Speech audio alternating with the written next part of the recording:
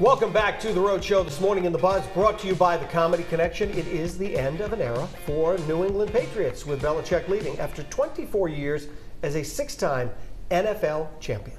And this got us thinking about other eras, TV shows and celebrities that we have seen go and we would love to see come back. So, for example, the top 10 most rewatchable TV shows include The Big Bang Theory, Friends, and Seinfeld. Now, in an online poll, the time of era of people would want to see back is in the 80s. Yes, the eight, I love the 80s. Uh, when it comes to musicians, people say they would have uh, loved to meet Michael Jackson, Etta James, Ah. and yes, also the late Tom Petty as well.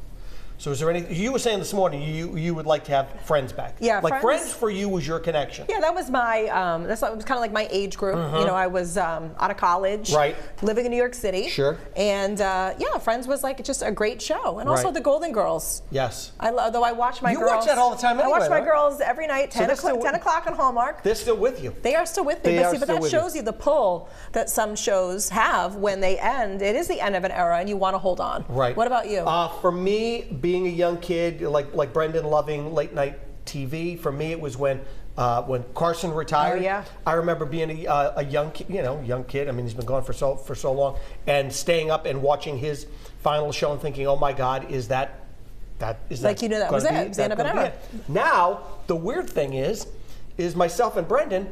Get to run into Jay Leno. we see him all the time. So it's so it's like one of those moments. It's where just crazy. like crazy. Yeah. it's a crazy moment. No, it is unbelievable because a lot of people, you know, like we watch obviously these people, we watch players play on the field, we Sure. watch them on TV, and we don't know them, but they become a fabric of our lives. They like do. They're weaved into our memories.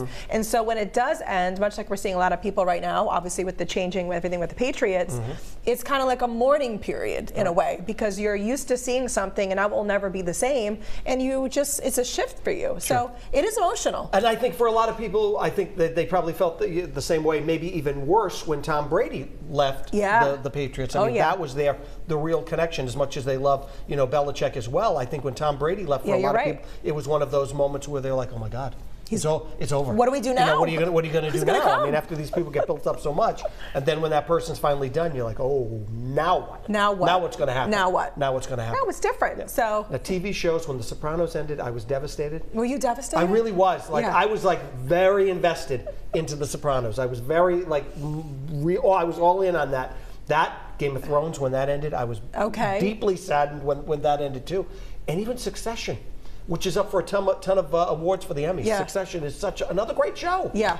No, I mean, yeah, there are definitely shows that when they've ended, I've just been like, Friends was definitely one of them. But, you know, I mean, even, um, oh my gosh, well, you're going to laugh. I don't know if I can say this on TV, but the Creek one, Blank Creek. Oh, yeah, yeah, Schitt's Creek, Yeah, yeah, okay. yeah, yeah. So I, I, I Yeah, yeah, not so yeah. about this. Oh, I don't want to say a thing wrong. Another great show. That when that Oh, ended, I I honestly bummed remember too. saying to Matt, "What are we going to watch?" I dude, I, I agree with We're gonna that. I agree with that one too. That was that was Oh. another one. Brendan, what, uh, well, uh, for you it was uh, was it was Seinfeld. Well, you know, uh, my life peaked in the 90s, Mm-hmm. so I still haven't recovered from the horror that was 1998 when Michael Jordan retired from the Bulls and Seinfeld went off the air. Got I it, still yeah. haven't recovered. That was a big year. Especially for me, because you know what it is? It symbolizes when you're young and these things that have seemingly always been around Right. go away. Now, they live in syndication, obviously. The video clips will live on forever, but it's these things that have always been there are no longer there. Yeah. Right. Or they're there in a different form. And That's it's your, your first, comfort. first kind of realization that life kind of moves on. Mm-hmm. Because when you're a kid, you have no concept of time. It's just one endless party. Mm. really. Also, um,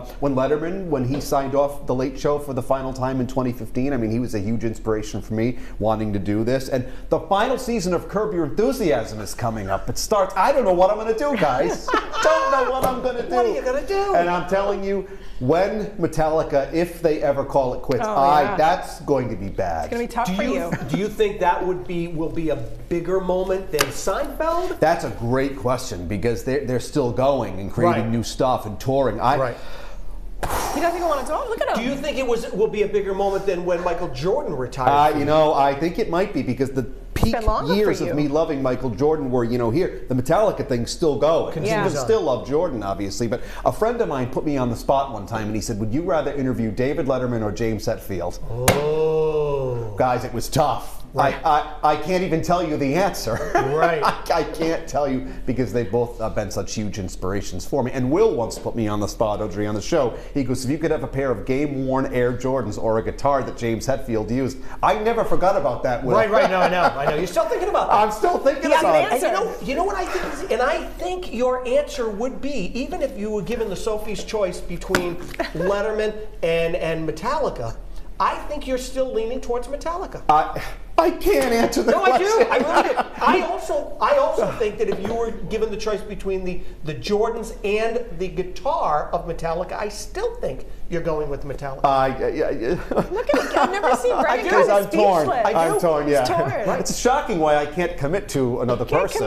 commit. if I was betting and going to Atlantic City in New oh. Jersey, see how we tied that all in? I did. Uh, I would Beautiful have. beach, a beautiful beach. I would have bet. I'm betting on that. All right. Well, Spin it's, the an, wheel. it's an interesting discussion. On that unanswered note, let's go to the big board, ladies and gentlemen, and see what you, our loyal and dedicated viewers out there, had to say. Dennis is up first. The end of Ted Williams' baseball career was memorable, as was.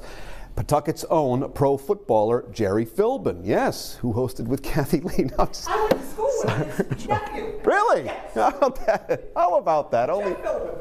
And of course, I'm just being a wise, you know what, invoking Regis. Carolyn adds the 80s. There you go, the best decade ever. Music, life, but the hair and clothing styles were questionable. But not at the time, right? That's what was going on. Marlene shares a memory. Bobby Orr and the Big Bad Bruins. Yes, what an era that was. And David closes out the comments today with some fond words for Bill Belichick. Thanks for the great memories, Coach. You are the GOAT. There you go. Thanks for chiming in, everyone. And please keep those comments coming, and they may be shown right here on the show. Follow us at The Rhode Show, Facebook, Twitter X, and Instagram.